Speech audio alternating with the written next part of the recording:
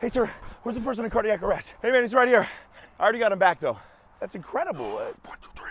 Just out of curiosity, though, what exactly happened? Yeah, man, I, I was jogging by and I saw him doing those snoring respirations. And I, I watch a lot of medical shows, so I knew he was going right into cardiac arrest. So I, I jumped on him, gave him three compressions, got him right back. All right, bro, you guys got this, man. See you later.